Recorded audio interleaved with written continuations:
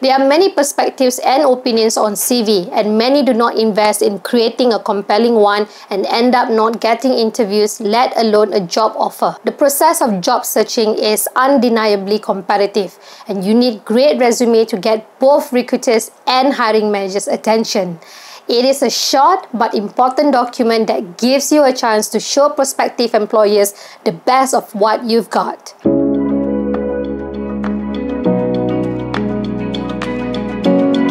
My name is Deema Yanni Ma'at. I'm a career strategist, talent acquisition head, and a hiring manager. I'm an ex-Booking.com regional talent leader, LinkedIn alum, and I come with a proven track record as a commerce recruitment division head.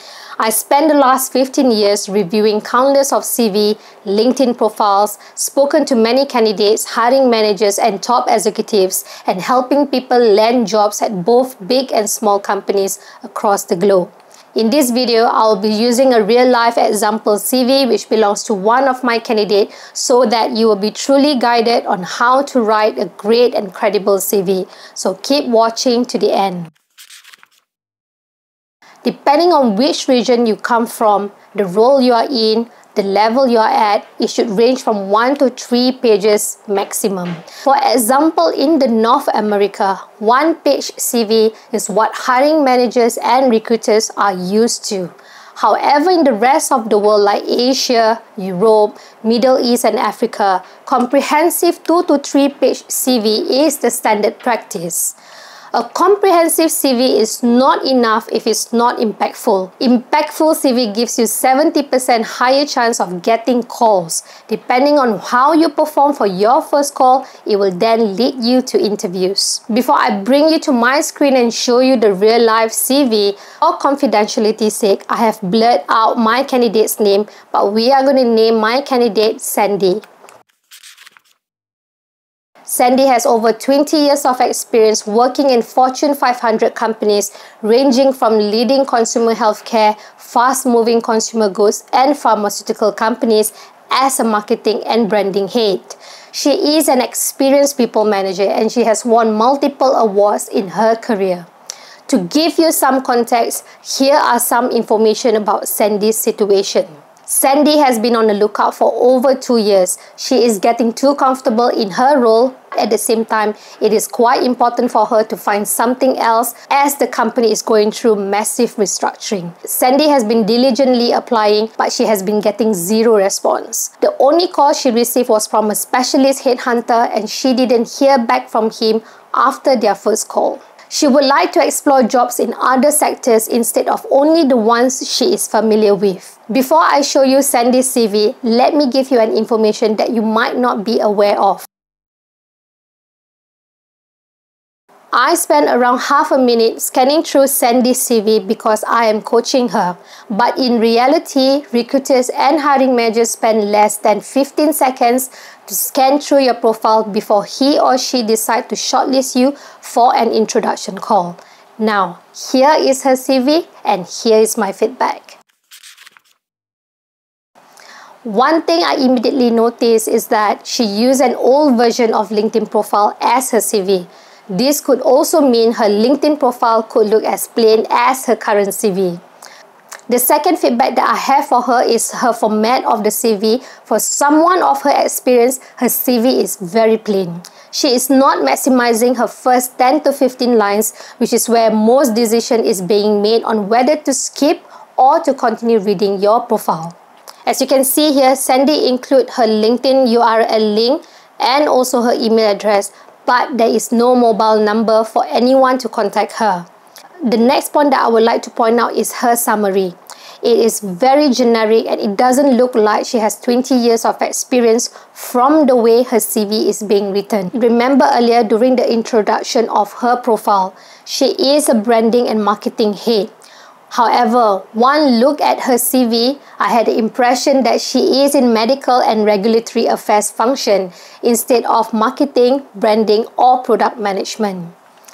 Because of this job title she uses on her CV and LinkedIn profile, she has not been getting any response to the role she has applied for, which she has expertise in. And I'm not surprised that she got a call from a specialist medical headhunter and was approached for a medical role which is irrelevant for her. Another thing to note here Sandy has great tenure and has worked for many well known brands, but the content on her CV is not enough. It is not impact focused, there is no track record apart from only the regional exposure she had listed, and that too isn't enough. So, in short, Sandy is not doing herself any justice. On the same call with Sandy, I've asked her several questions to understand better. We touched on topics covering on stakeholder management, leadership style, her team management experience, her customers, the regional exposures that she has garnered, and challenges and how she overcome those challenges. We also cover on past projects and achievements, both big and small. And I asked her questions like what were they, how did she achieve those, what was the outcome, and I've also asked Sandy to quantify those outcomes through the introduction during the call because this is a test to see how she articulate her summary and experience. Because this matters a lot guys. If you have great written CV but you do not articulate or do not put enough effort to practice for your introduction call, you will blow all the chances of getting interviews. Now I'm going to share with you her very first mock-up CV which I have written for her with all the inputs she has managed to share with me and I will explain to you the reasons for each of these changes. So remember what I shared earlier. The first 10 to 15 lines of your CV is the most important part because that's where most decisions are being made. If you have a clear and concise summary, the chances of recruiter or hiring manager scrolling down your CV further will be higher and that will lead to your CV being shortlisted. In this summary, you can see that I have included the following points. Number one, how many years of experience Sandy has. Number two, what type of companies she has worked for, big and small companies. Number three, the company brands that she has worked for because this is going to catch the recruiter and hiring manager's attention. Number four, the global, regional, country experience she has garnered in her entire career. Last but not least, I've also included the most proud achievement that is directed a portfolio size revenue of 500 million euros and turn it into 5 billion euros. Notice one thing here. I did not explain the details any further in this summary because I want the recruiter and hiring manager to be curious about it and scroll down her CV further. All of these pointers were not on her previous CV and her LinkedIn profile. And this is what I meant by impactful CV and quantifying those impacts. These pointers will determine the interest of your audience and all of this red underline these are all important information because hiring managers and recruiters care a lot about this information. By the way, these are not buzzwords or keywords to get shortlisted or noticed on ATS. These are all your experience, credentials, track record, and rest assured, beside all the ATS functionalities, someone is actually reviewing your CV and deciding if you are a good fit. Next, when we look at her most recent employment, you notice here what I did was to club all of her 8 years of experience in this company into one because it's much more cleaner and readable. And in blue highlighted here, I focus on the projects that she has managed and again quantify her achievements using dollars, numbers, and percentages. This is important because if you are going to practice for your interview, you need to be able to articulate your past successes. And the reason why I included this as one of the bullet point because the tendency for candidates to practice for their interview using their CV is very high. Of course, the way I put it here is a bullet point. This is to guide and refresh your memory. I expect you not to repeat word for word from your CV but to elaborate on those bullet points. Next, you can see here in green, I highlighted the fact that it was because of her contribution, her leadership, that she has helped this company to become the first nutritional company to engage with healthcare experts in four different markets. Again, I expect Sandy to practice her pitch on how she managed to do that. I could have included all of those details here, but my advice is not to exceed more than 2 to 3 lines in each bullet point. You need to balance information and content on your CV and keep some of those information to practice for your interview. You cannot be precious about it on your CV because again, the tendency to refer to your CV for you to practice for your interview is very very high. I do not want you to sound robotic repeating every word from your CV. The recruiters or hiring managers might as well read your CV and not have a call with you. Last but not least, you can also see some of the other numbers and achievements I have included here on Sandy's CV and you can do the same thing too. Well, I hope you find this video guide useful. This is my style of CV writing and this same style have helped many candidates land jobs. I hope after this you will have a look at your CV and start by asking yourself the same question I asked Cindy to uncover what makes you special from your peers. For convenience, I will repeat all those information again.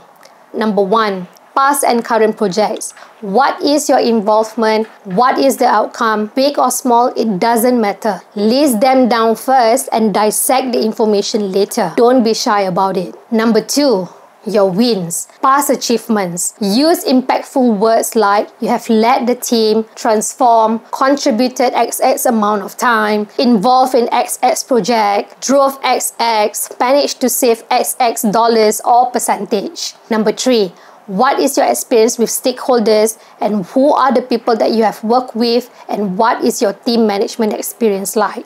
Number four, what is your local, regional, and global experiences? Who are your business partners? In what context are you working them with? And what have you done for them? Number five, list down all the challenges that you have faced and how you overcome those challenges. Some other advice that I have for you, especially for those who just about to start your job search and still figuring out on what and how. Build a modular CV and tailor-make your applications. Stay relevant to the experience you have garnered in your career and again, ask all those questions I have shared earlier. Next, do not forget to consider what's important for the hiring manager and what you can bring to the table.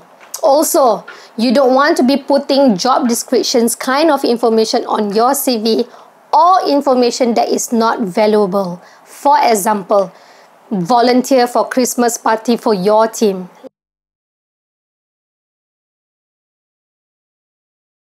Let me be honest, recruiters don't care about that. At least I don't care about things like that. And finally, do not use internal jargons. Like in Sandy's case, she used and repeated a lot of Veeva in her previous CV, but also on our first call. What is Veeva? Veeva is a system widely used in healthcare sectors. People would not know what is Veeva, but people might know what is SAP and Oracle. So be aware of that. So if Sandy is applying for a role in Apple, do you think the hiring manager or recruiter knows? No. Similarly, if you use a lot of acronyms on your CV like BAU, TLDR, NBD, LOL, whatever acronyms your company use, do not assume that the prospective employers use the same. Again, I hope you find this video guide useful. Unfortunately, this is a condensed version. If you need more help, feel free to reach out to me directly on careercare.deemayannimaat.com. Please do not forget to like, leave a comment if you have any questions. Don't be shy. All of us is in the same situation. Share this video with all your friends, family members who is starting their job search and do subscribe to my channel for more contents like this. My next video is going to be either LinkedIn profile or another CV case study so you can have more ideas on how to make every word on your CV count. My name is Deema Yanni Maat and I will see you again. Bye!